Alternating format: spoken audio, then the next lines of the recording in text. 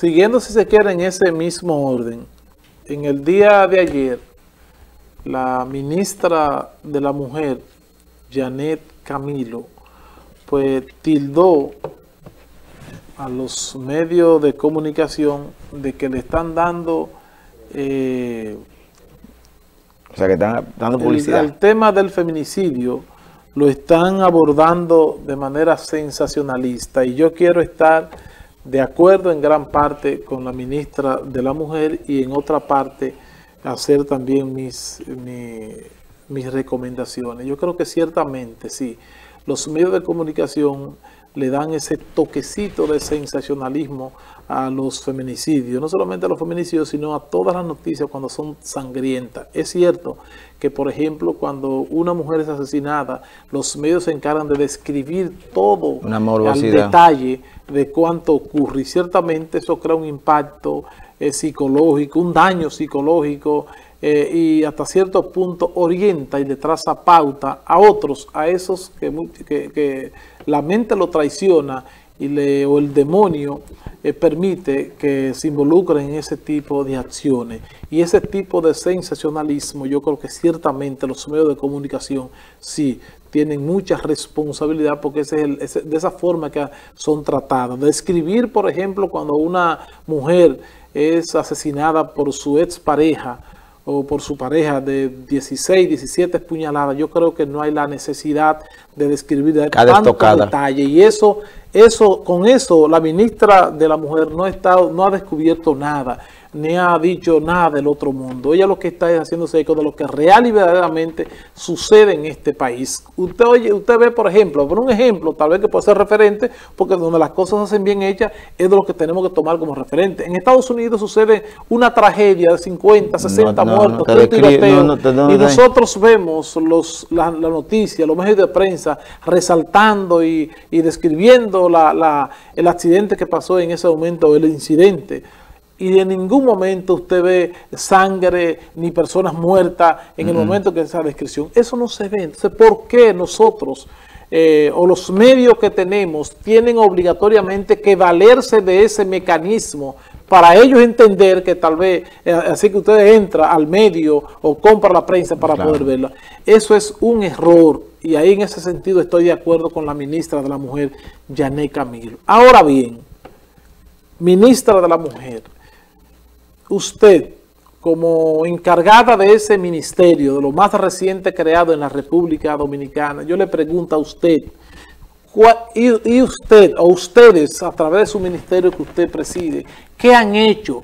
¿Cuántas campañas? Si, existe, me, me, disculpa, pero yo no le he visto, de orientación, de información, en pro de crear conciencia en nosotros, los hombres, los humanos, ¿Qué ha hecho el Ministerio de la, de la Mujer en ese sentido? Para mí yo creo que no ha hecho nada. Ahora en esta situación donde cada día aumenta el porcentaje de las mujeres que caen, pierden su vida a manos de su pareja, ahora hay que decir algo. Y usted habla para decir que los medios de comunicación le están dando un manejo sensacionalista, y es cierto. Ahora bien, yo quisiera saber qué está haciendo el Ministerio de la Mujer. No sé si recibo o no recursos para eso, pero, algo, pero algo debe de hacer el Ministerio de la Mujer. Por ejemplo, que veamos que hay una campaña de orientación, de información, de concienciación a la, a la comunidad para que realmente podamos decir que existe. Eso que plantea ayer el, el, el arzobispo, el arzobispo, ¿verdad? de Santo Domingo, de que hay que crear un ministerio de la mujer. De la familia. De la familia, perdón. Me gustaría a mí saber, no sé si la idea, en qué consiste ese ministerio, me gustaría ver si existe un proyecto, porque tenemos dos ministerios recién creados, que es el Ministerio de la Juventud y este de la Mujer, que son tal vez los más frescos en, el, en lo que es la estructura del Estado, y yo me pregunto, ¿para qué? ¿Y en qué han aportado o sea, si, si, si se ha hecho, yo quisiera que alguien me lo diga para yo entonces, ¿verdad?, poder nutrirme, si realmente ha valido la pena que se haya creado ese Ministerio de la Mujer, sino para tener un espacio donde colocar personas y cumplir con la responsabilidad y el compromiso que hicimos en campaña. El, el Ministerio de la Juventud, dígame usted, dígame, aquí en San Francisco de Macorís, creo que alquilaron, hicieron un local por ahí, que me diga la función que hace el Ministerio de la Juventud. Claro, como he concebido, eh, excelente. Ahora, si se hace, pone en práctica la razón por la que fue concebido, excelente. Ahora en la práctica, vamos, dejemos la teoría, vamos a la práctica. ¿Qué hace en beneficio de la juventud, el Ministerio de la Juventud? Dígame, que no sea colocar una persona ahí para dos años después aspirar a diputado, senador, a un cargo político. Un brinco. ¿Eh? Para establecerse ya como tal. Yo no lo que quiero lo que estoy cuestionando es la práctica lo que hacen esos dos ministerios. Vamos a hacer otro ministerio de la familia. Excelente. Ahora, dígame, para que quien lo maneje. Para crear otro ministerio, para crear más espacio, para colocar gente. Y lo grande en ¿Eh? el caso, Víctor, que así como tú le preguntaste que qué hacía el Ministerio de la Mujer cuando esos arreglos que se dieron en San Pedro de Macorís, que no fue, que Debió, de llamarle la atención todos esos arreglos, todos esos arreglos trabatidores, porque se supone que usted lleva los casos. Tú dices, el, Ministerio de la Mujer no es justicia, no, es nada. Pero los casos están ahí. Yo supongo que en algo, en algo, algún tipo de supervisión, de conocimiento. tiene que llegar local.